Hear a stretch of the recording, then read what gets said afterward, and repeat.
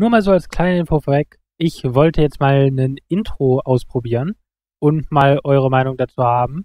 Also guckt es euch mal an und schreibt eure Meinung zu diesem Intro in die Kommentare. Ich würde das dann natürlich je nachdem, was wir halt für ein Game spielen, modifizieren. Aber ich würde mal sagen, ab zum Video. Herzlich willkommen zu einer weiteren Folge von Planet Zoo. Und zwar haben wir ja immer noch hier den Eingang. Wir haben zwar jetzt hier schon unser erstes Gehege und ihr seht schon, ich habe ganz klein wenig Änderungen vorgenommen. Und zwar habe ich jetzt hier ein bisschen... Och Gott, was ist denn das hier schon wieder? Ich glaub's nicht. Ey, du kannst die wirklich keine Sekunde in Ruhe lassen. Guck mal, ihr müsst euch vorstellen, ich hatte diesen Zoo. Jetzt hier vielleicht 10 Minuten laufen. Hab hier diese Schilder hingestellt. Diese beiden, die wir hier haben. Hier oben tatsächlich auch nochmal die Infolautsprecher. Und hier einen versteckt, den ihr da sehen könnt. Und ich habe hier diese beiden ähm, Automaten Geldautomaten dahingestellt. Und halt natürlich hier die Spendenboxen und diese, naja, was ist denn das überhaupt? Tiergesprächsstation. Fragt mich nicht, warum es sowas gibt, finde ich ganz interessant, aber und naja, ist ja auch nichts Wildes. Aber das war basically das Einzige, was ich gemacht habe hier. Offscreen gerade. Und ihr seht schon, es sind einfach vier, vier neue sind es vielleicht sogar fünf? Man weiß es nicht. Wartet. Lasst es mich mal nachgucken, wie viele Tiere haben wir drin. Sechs, sechs Tiere? Okay, es sind nur die vier. Okay. Dann geht es gerade noch so eben klar, aber das meinte ich mit Faunen. Faunen sind einfach nur komplett übertrieben. Egal was ihr macht, die vermehren sich so weit, wie sie wollen. Die ziehen einfach nur durch. Also wirklich. Und auf jeden Fall, ihr seht schon, wir haben den Zoo wieder offen. Und dadurch, dass wir jetzt Faunen drin haben, kommen dann die Leute auch rein. Und naja, hier haben wir einen ganz kleinen Vorteil. Die Leute rennen um die Bänke so ein bisschen rum und wollen nicht in der Mitte durchgehen, weil sie halt, naja, weil die sind, glaube ich, ein bisschen so gecodet, dass sie nicht durch die Objekte gehen, oder? Sind die so gecodet? Ja. Die sind so ein bisschen so gecodet, dass sie anscheinend nicht durch Mülleimer gehen und sowas. Das muss ich ausnutzen das muss ich so hart ausnutzen. Dann kann ich hier Korridore für die bauen, dass die wirklich hier durchgehen müssen. Und nicht einfach hier durchkursen. Wartet mal. Kann ich den jetzt hier, wenn ich den hier mache, laufen die da durch? Hallo?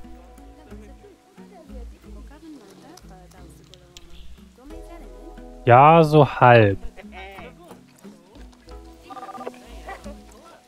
Okay, es geht jetzt aber nur jeder hier bei der größten Lücke durch. Oder? Wenn wir jetzt hier den entfernen, dann rennen sie alle nach da. Ihr seht schon. Oh, ich habe gerade was ganz Wertvolles gefunden, glaube ich. Okay, das war jetzt nicht geplant, aber ich schätze mal, wir haben ja ganz zufällig einen Plan gefunden, was wir ähm, diese Folge machen wollen. Ich würde mal sagen, ich teste einfach ein bisschen rum, was von den Dingern ich hier einbauen kann als Mittellinie, dass hier nicht immer durchgerannt wird. Und dann sehen wir uns danach direkt wieder. Das ist doch geil, dass wir dann wirklich hier auch begrenzen können und hier und hier, dass die wirklich nicht mehr durchgehen. Ey, das ist das ist mal so eine geile Idee. Alter. Weil ihr seht ja schon, hier, die rennen einfach lang, wie sie wollen. Und hier stehen sie auch einfach mitten im abgesperrten Bereich und schauen sich einen Busch an. Interessant auf jeden Fall. Aber ich mach Geld. Hey, Ey, ich mach sogar Plus mit dem Park. Wie kann ich Plus machen gerade? Also erklärt mir mal, wie kann dieser Park im Vergleich zu meinem letzten ähm, Park, obwohl was heißt Park? So, halt Plus machen.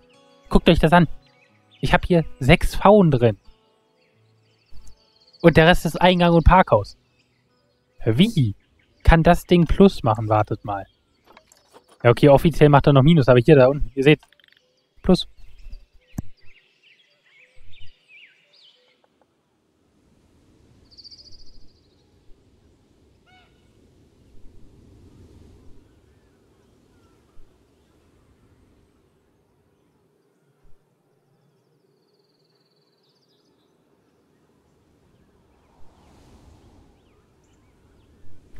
Ja, nee, aber ihr seht schon, wir haben hier Einnahmen.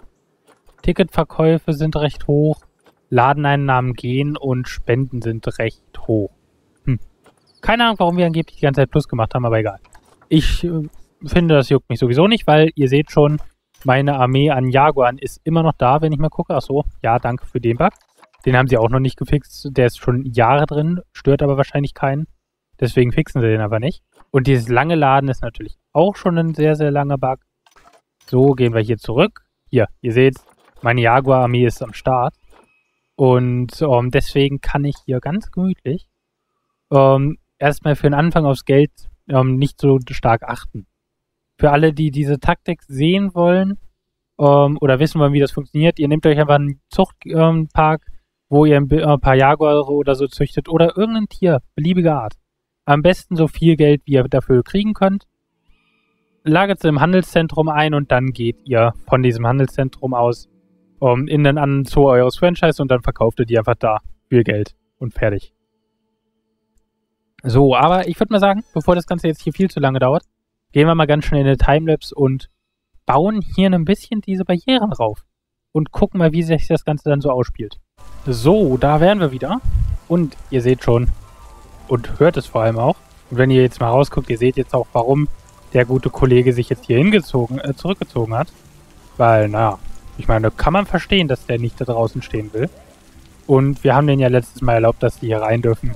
Ich meine, finde ich ganz witzig. Stellt euch mal vor, ihr würdet in einem Shop sein und auf einmal würde euch dann so ein V aus der Ecke angucken.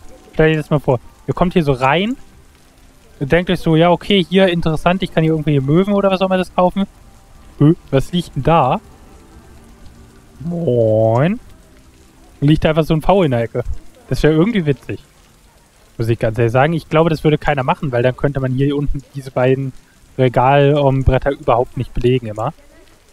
Also an sich geht das dann nicht, weil, naja, die würden alles kaputt machen. Und was witzig ist, was mir aufgefallen ist seit letzter Folge, wenn wir uns mal die Heatmap angucken, wo die überall hin können. Wie auch immer die hier oben hoch wollen, aber anscheinend kommen die irgendwo hier oben hoch. Und das will ich irgendwie mal sehen. Also ich hoffe, wenn das irgendwann mal passiert, dass ich ein V denke, ey, ich kletter hier oben hoch. Dass ich dann in dem Moment da bin. Weil das wäre so wirklich schön. Das will ich sehen. Hier, guckt, gönnt ihn euch. Da steht da rum und denkt sich so, ja okay, ich mach hier einfach mal rein. Ja. Genau das. Nee, nur weswegen wir eigentlich hier waren. Upp. Was ist denn das hier? Wir haben Herausforderung gekriegt, mindestens 300 Gäste, easy. 500 Dollar aus Souvenirläden, easy. Und Vivarientiere haben wir aber noch nicht. Okay, das stört nicht. Dann, ich schätze mal, wir müssen raus in Regen. Hilft nichts. Und zwar seht ihr schon, ich habe hier, oder erstmal hört ihr es, ich habe hier ein bisschen mit Musik rumgespielt. Ihr seht es hier oben. Ich weiß nicht, ich fand die Musik ganz passend. Und sie heißt auch, ja, hier, warte mal, für die Leute, die es interessiert, ähm, Bärenfreuden. Finde ich aber ganz interessant. Passt die hier ganz gut rein. Ich habe zwar ein paar andere durchexperimentiert, aber ich finde, das passt. Also als Eingangsmusik.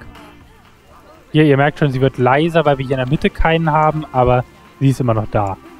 Wir haben jetzt hier welche. Dann haben wir hier ein bisschen Ambiente. Ich weiß nicht, ihr hört es, hier ist so ein bisschen Wald ähm, gewesen. Die haben leider keinen europäischen Wald, sondern nur einen asiatischen Wald hier. Das finde ich schade, dass sie nichts was Europäisches haben irgendwo. Aber, naja, ist auch egal. Und dann haben wir hier halt basically die ähm, Lautsprecher einmal rumgebaut.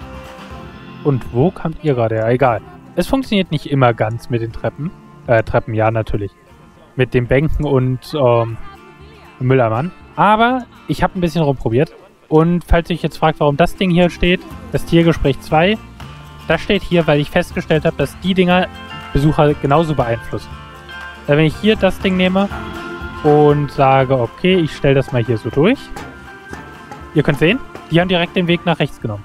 Die hier drehen auch alle nach rechts ab. Der hier dreht nach, ähm, da ab. Also, ihr seht schon, die beeinflussen das Ganze auch. Und generell meine Erkenntnisse, die ich jetzt daraus gewonnen habe, aus dieser ein bisschen testen. Also ich weiß nicht, wie viel ihr davon gesehen habt, aber wenn wir bei Einrichtungen gucken, Lautsprecher haben überhaupt keinen Einfluss drauf. Dann, wenn man hingeht, diese ganzen Sachen haben auch null Einfluss, worauf sie hingehen, obwohl ich habe noch die Waren Infottafel gestellt. Ähm, so. Werden aber sehr, sehr wahrscheinlich auch keinen haben. Nein. Ihr seht schon, die halten straight drauf zu. Die wären normalerweise schon lange abgebogen. Genau, da rennen sie einfach durch. Und naja. Die machen wir mal wieder weg. Und basically so habe ich das Ganze getestet. Wenn wir hier gucken, aus dem ganzen Menü ist nur dieses Tiergesprächspunkt-Teil, was das beeinflusst. Wenn wir dann bei Mülleimer und Bänke gucken, die ganzen Sachen, die ihr hier seht, sind auch nicht effektiv. Also Warnschilder und so äh, machen die halt langsamer, weil sie sie durchlesen, aber sie gehen trotzdem einfach durch. Sicherheitskameras bewirken gar nichts. Also da ist denen das scheißegal, die gehen aber weiter. Picknickbänke hingegen funktionieren wieder. Ähm, normale Bänke funktionieren auch. Also ich würde jetzt einfach mal davon ausgehen, dass alle funktionieren. Weil ich habe mal durchprobiert, die Mai äh, alle, die ich getestet habe, haben funktioniert, das als Barriere. Also gehe ich davon aus, dass alles ähm, davon ähm, funktioniert. Mülleimer werden auch alle funktionieren. Und ja, ansonsten haben wir hier, naja, haben wir hier irgendwas vergessen? Nein. Ähm, die Transportfahrgeschäfte und so funktionieren nicht, das kann ich euch jetzt schon sagen. Die Schienen davon, die werden nicht funktionieren, da gehen die einfach durch. Ähm, Mitarbeitereinrichtungen und so braucht ihr gar nichts rumprobieren, die haben negativen Einfluss auf die Gäste. Und außerdem könnt ihr noch gleich den Weg da abbauen an der Stelle. Und Gästeeinrichtungen genau das gleiche, nur dass die keinen negativen Einfluss haben. Die werden natürlich halt die Gäste beeinflussen, aber da dürft ihr keinen Weg drunter haben. Ich kann die ja noch nicht mehr hier hinsetzen, ihr seht schon. Also das braucht ihr gar nicht probieren. Vivarien ist genau das gleiche. Und unter Bau gibt es nichts, womit Gäste interagieren. Da gibt es dann zum Beispiel sowas hier. Ihr seht schon, die rennen einfach durch. Das juckt die nicht. Also Gäste interagieren mit dem Zeug nicht. Von dem Zeug. Also ist das eine Sache für sich. Den habe ich noch nicht mal gesehen, den Felsen hier. Interessant. Und Alter, warum muss es jetzt immer regnen? Jetzt mal ganz ehrlich. Es ist immer so. Aber egal. Ähm, wenn wir das uns mal angucken jetzt hier. Ich habe ein paar Designs. Und zwar habe ich die Mülleimer hier vorne nicht geändert. Die müsste man dann dementsprechend ändern. Aber ich habe einmal das Design mit dieser ähm, komischen Bank hier. Ich habe die hier hinten auch nicht voll gebaut dann. Die, ich weiß nicht, finde ich nicht so ganz so schön. Sieht irgendwie komisch aus und sie hat eine komische Länge, weil das Problem ist, ihr seht schon, wenn ich die jetzt hier hinten weiterbaue, würde sie hier hinten so rausgucken. Und das liegt nicht daran, dass ich unsauber gebaut habe. Ihr seht schon, ich habe hier nur minimale Abstände zwischen. Dann Nummer 2 wäre das hier. Das sieht auch irgendwo komisch aus, finde ich. Aber die ist kürzer. Hier habe ich auch mal weitergebaut. Hier gucken wir nur so ein ganz kleines bisschen raus. Das stört mich tatsächlich eigentlich nicht wirklich. Und, ey, hier unten drunter sind wir vom Regen safe. Easy. Das finde ich auch geil am Game. Ich meine, guckt euch das an. Hier seht ihr, ist Regen. Hier hinten ist überall kein Regen. Und es um, ähm, ist halt einfach generell schön irgendwie. Also das Game hat das gut gemacht mit dem Wetter. Hier, guckt euch das Dach an und so. Das wollte ich nur noch mal ganz kurz bemerken. Weil ganz ehrlich, ich finde, Planet Zoo hat bisher von den Wettersystemen eines der besten, die ich je gesehen habe. Aber auf jeden Fall wollen wir nochmal weitergehen. Die hier hatten wir jetzt. Also ich kann mal ganz kurz... Ähm, Zahl. Gibt es sowas hier so? Nein. Ähm, eins. Ähm, nummerieren wir das kurz durch. Ähm, zwei. Das hätte ich vielleicht auch vorher machen sollen, aber ist auch egal. Ähm, drei. Und dann haben wir noch ein viertes. Ähm, das vierte ist dann das hier. So. Und zwar habe ich dann hier das dritte. Das sind dann die Aquatic-Bänke. Ihr seht schon, das sind so diese komischen massiven Steinbänke mit Holzplanken oben drüber. Ich kann natürlich hier die Farbe umändern, wie ich will. Ich kann die auch zu grün machen oder so. Also das ist natürlich machbar. So, ah, perfekt. Jetzt, wo es Tag ist, sieht man auch wieder was. Und ich weiß nicht, das hat was auf jeden Fall. Ich kann ja rein theoretisch sogar den um, Stein unten drunter ändern von der Farbe. Also da haben wir viel Customization-Raum. Also ich meine, wir können sowas machen. Das sieht irgendwie komplett komisch aus, aber es ginge. Also da könnten wir gut was mitmachen auf jeden Fall. Und sie haben den Vorteil, sie hören hier hinten auch ziemlich früh auf. Also hier, das wäre ein Easy Fix. Würde ich hingehen und würde den machen. An den Seiten habe ich immer noch kein Loch und es passt. So. Also die könnte man auf jeden Fall auch noch benutzen, System 3. System 2 und 1, also 2 geht auch noch, System 1 würde schwierig sein. Da müssten wir hier sehr groß umbauen. Aber egal. Und dann hätten wir noch System 4, mein bevorzugtes System weil das nicht klar erkennbar eine Bank ist. Ja, ihr seht schon, das ist einfach nur dieser Holzstapel der hier zusammengehalten wird von so ein bisschen Metall. Und der ist auch im Stil mit den Mülleimern, was auch geil ist. Und, wenn wir mal gucken, der hat hier hinten so ein ganz kleines Loch drin. So, das passt aber. Wenn wir hier hingehen, ich habe das mal weitergebaut. Wenn wir hier so rüber gucken, ich finde, das sieht doch gut aus. Und auch deutlich besser als die hier. Weil die lenken irgendwo von den Hauptsachen ab. Weil eigentlich hast du ja in der Mitte von sowas nicht. Also du hast ja hier nicht so eine Bank zwischen normal, sondern du hast normalerweise ja diese Ketten und das war's. Haben vielleicht hier vorne einen Abschluss, aber das äh, mehr nicht. Aber auf jeden Fall, diese ganzen Bänke hier finde ich bis, persönlich am besten. Wenn jetzt kein Widerspruch kommt, werde ich zur nächsten Folge diese drei Testbänke abgerissen haben und durch die ersetzt haben. Aber ist ja auch egal. Ähm, generell seht ihr, ich habe das dann hier auch durchgezogen, dass sie hier nicht lang gehen können. Ihr seht auch, hier ist die Versammlung einfach äh, weggegangen. Und das sah ja geil aus, dass sie eben gerade hier sogar gewartet haben, sozusagen Check-in gemacht haben. Aber egal. Ähm, generell, ihr seht schon, es wird jetzt sehr, sehr regelmäßig hier unser Check-in benutzt, von allen. Das macht so viel, finde ich. Hier hinten das gleiche. Die Leute gehen hier raus, klar, durch diese ähm, Blöcke gehen sie immer noch durch. Aber meistens, ja, ich sag meistens, weil nicht immer, manchmal haben die einfach keinen Bock drauf. Aber so an sich versuchen sie es wenigstens hier durchzugehen. Und naja, ihr seht schon, die Kette hier wird einfach ignoriert, weil ich hier noch nicht den gemacht habe. Für die Leute, die sich interessieren, wie ich das mache, nichts Wildes. Du gehst hin, platzierst das Ding, leinst das Teil hier ab, klatschst es da drauf, leinst das Teil hier auf und fertig ist deine Begrenzung. Und naja, klar, das Kinderwagenteil ist jetzt hier weg. Das ist aber auf technische Gründe äh, bezogen. Und rein theoretisch versagt nicht, dass man das hier mit wegräumen kann. Nein, das sagt jeder aber. Egal, dann haben wir hier das Kinderwagen weg. Dann machen wir das mal weg, dann haben die einen extra Eingang, keine Ahnung. Oh, es hat aufgehört zu regnen, endlich. Aber generell, ihr seht schon, hier sieht das deutlich geordneter aus. Ich finde, es hat auch was, weil wir so einen extra Akzent drin haben. Und ja, ihr seht schon, hier die gehen durch. Wenn wir hier weiter gucken, alle Leute gehen eigentlich hier wirklich durch die einzelnen Bahnen, die sie haben wollen. Ihr, ihr seht schon, die biegen ab und gehen dann jetzt hier zwischendurch. Hier, die gehen auch wieder richtig, sind hier rausgekommen und so. Klar kann ich jetzt nicht sagen, hier dürft ihr nur raus und hier nur rein. Das geht zu weit, das geht nicht, leider. Und hier, naja, haben sich auch einfach gedacht, wir gehen quer. Also es passiert ab und zu mal. Das kann man nichts gegen machen. Da müsste man dann separate Wege nehmen und sowas. Aber dieses System, ich bin doch ganz glücklich mit tatsächlich. Mit dieser Erfindung sozusagen. Ich weiß nicht, ich habe das das erste Mal gesehen, also ich weiß nicht, ob das jetzt wirklich meins ist oder nicht, ob ich das zum ersten Mal gefunden habe oder so. Aber an sich, ihr seht schon, das funktioniert zu 99% würde ich schon fast sagen, oder ja, 90% äh, funktioniert es gut. Hier stehen zwar trotzdem noch welche, das kann man nicht verhindern. Wenn sie wollen, dann gehen sie halt einfach durch die Lücken. Aber solange sie es können, versuchen sie außen rum zu gehen. Und das ist geil. Und sorry, wenn ich jetzt diese Folge ein bisschen weniger produktiv war. Aber ich finde tatsächlich, das war eine gute Entdeckung, die ich hier hatte. Und klar, die, die sind irgendwie stuck hier ein bisschen. Das sieht teilweise ein bisschen komisch aus, aber es passt schon. Aber ich würde mal sagen, an der Stelle beende ich dann diese Folge. Wir sehen uns dann in der nächsten Folge wieder hoffentlich.